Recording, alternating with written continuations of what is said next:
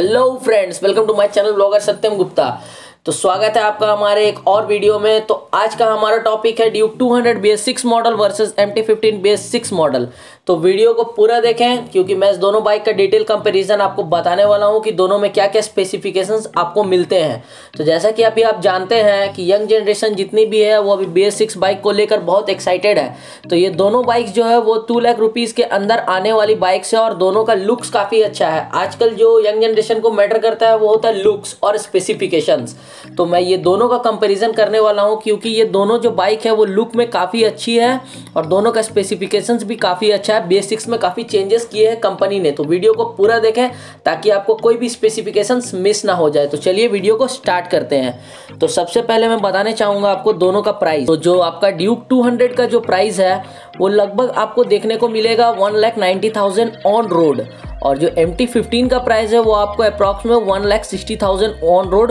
मिलेगा तो दोनों का प्राइस में लगभग थ्री थाउजेंड का डिफरेंस है दोनों का प्राइस में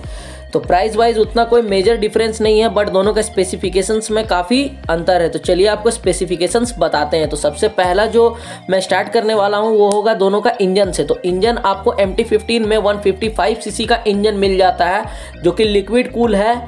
with four stroke and four valves और जो के टी एम ड्यूक है वो 199.5 सीसी का है विथ सिंगल सिलेंडर फोर बल्ब तो आपको जो एम टी फिफ्टीन में मिलता है वो S O H C engine देखने को मिलता है और जो ड्यूक टू हंड्रेड है उसमें आपको D O H C engine देखने को मिलता है दोनों ही सिंगल सिलेंडर है उसके बाद दोनों का पावर का बात करते हैं तो आपको एम टी फिफ्टीन में eighteen point five P S का पावर मिलता है at the rate ten thousand R P M और fourteen point seven N M का टॉर्क मिलता है at the rate eight thousand five hundred R P M और जो ड्यूक में आपको पावर मिलता है वो होगा 25 P S at the rate P M और टॉर्क जो मिलता है वो 19.3 एम का मिलता है at the rate P M तो पावर वाइज अगर कंपेयर किया जाए तो ड्यूक आगे है बट अगर आप रेगुलर यूज़ और डेली यूज़ के लिए अगर बाइक लेना चाह रहे हैं और आपको लुक्स भी चाहिए तो एम टी भी ख़राब नहीं है क्योंकि 18.5 पीएस का पावर डेली यूज़ के लिए काफ़ी होता है अगर आप रेसिंग के पर्पज़ से देखना चाहते हैं तो आप ड्यूक ले सकते हैं ड्यूक भी अच्छा बाइक है बट पावर उसमें ज़्यादा है और आपको माइलेज भी आपको एम टी में देखने को ज़्यादा मिलेगा क्योंकि इसका पावर कम है और इंजन सीसी भी कम है क्योंकि ये 155 सीसी का ही है और ड्यूक 200 जो है वो 199 सीसी का है तो पावर वाइज के आगे है एम टी से बात करते हैं दोनों का ब्रेक्स का तो रेयर और फ्रंट दोनों में ही ए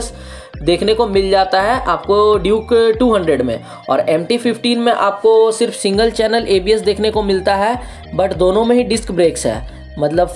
एम टी फिफ्टीन में भी आपको फ्रंट एंड रेयर दोनों में डिस्क ब्रेक्स मिल जाता है और के टी एम में ड्यूक में आपको दोनों में फ्रंट एंड रेयर में दोनों में ही डिस्क ब्रेक्स मिल जाते हैं बट ए बी एस आपको सिंगल चैनल ही मिलेगा एम टी फिफ्टीन में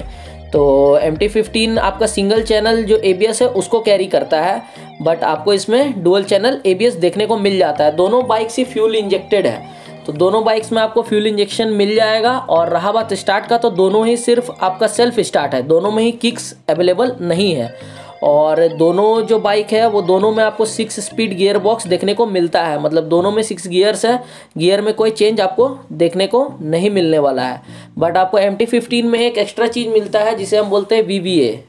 वेरिएबल बल्ब एक्विजिशन जो आपको सिर्फ एम टी फिफ्टीन में देखने को मिलता है आपको के टी एम में देखने को नहीं मिलता है उसके बाद बात करते हैं दोनों का सस्पेंशन का तो आपको इसमें एम टी फिफ्टीन में टेलीस्कोपिक फोक्स मिलता है फ्रंट में और ड्यूक में आपको डब्ल्यू पी का फोर्टी थ्री एम एम का अपसाइड डाउन फोक्स मिलता है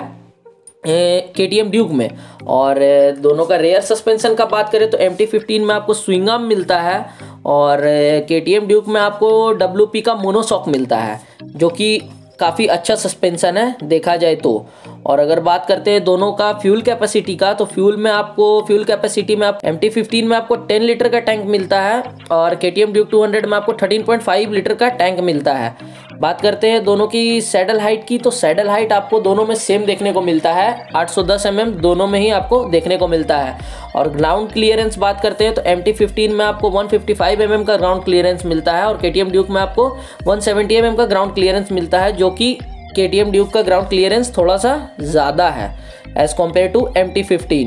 दोनों में ही आपको L E D D R Ls मिल जाते हैं बट आपको K T M Duke two hundred में हेलोजन लाइट मिलेगा लेकिन एम टी फिफ्टीन में आपको एल ई डी लाइट्स मिल जाते हैं जो कि देखने में काफ़ी अच्छा लगता है बात करते हैं दोनों का टायर का तो टायर कंपैरिजन में आपको बताते हैं एम टी फिफ्टीन का जो टायर साइज़ आपको मिलेगा फ्रंट में वो होगा हंड्रेड बाई एटी का सेवनटीन इंच का एलॉय व्हील्स और रेयर में वन फोर्टी बाई सेवेंटी का सेवनटीन इंच का एलॉय व्हील्स मिलेगा और K T M Duke two hundred में आपको मिलेगा फ्रंट में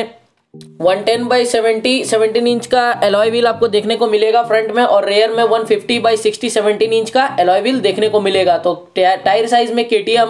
का जो टायर साइज है वो आपका एम टी फिफ्टीन से थोड़ा ज़्यादा है जिससे कि आपको के टी एम ड्यूक में आपको ग्रिप थोड़ा ज़्यादा अच्छा मिलेगा as compare to M T fifteen तो दोनों में ही आपको 17 इंच का अलॉय व्हील मिल जाता है तो अलॉय व्हील में कोई चेंज नहीं है और दोनों में ही आपको ट्यूबलेस टायर्स देखने को मिल जाते हैं तो टायर्स में भी ट्यूबलेस है और कोई चेंज नहीं है बट एम टी में आपको जो रेयर में अब जो बेसिक्स मॉडल आ रहा है उसमें आपको रेडियल टायर मिलेगा बट आपको ड्यूक में वो रेडियल टायर नहीं मिलता है तो बात करते हैं दोनों का डिस्क ब्रेक का तो आपको एम टी में फ्रंट में 282 एटी mm का डिस्क ब्रेक मिलता है और रेयर में 220 एम mm का डिस्क ब्रेक मिलता है और के में आपको 300 हंड्रेड mm का डिस्क ब्रेक फ्रंट में मिलता है और रेयर में 230 थर्टी mm का डिस्क ब्रेक मिलता है तो डिस्क ब्रेक साइज में के का जो डिस्क है उसका साइज थोड़ा ज़्यादा है as compare to M T तो ब्रेकिंग आपको के में थोड़ा ज़्यादा अच्छा देखने को मिलने वाला है एम टी के कंपेरिजन में तो फ्रेंड्स मैं जितना हो सका उतना कवर कर लिया हूँ इस वीडियो में अगर मैं फिर भी कुछ भूल गया हूँ तो आप कमेंट सेक्शन में मुझे बता सकते हैं मैं उसका जरूर रिप्लाई करूंगा तो अगर आपको वीडियो अच्छा लगा हो फ्रेंड्स तो चैनल को जल्दी से सब्सक्राइब कर लें और लाइक कर दे वीडियो को तो मिलते हैं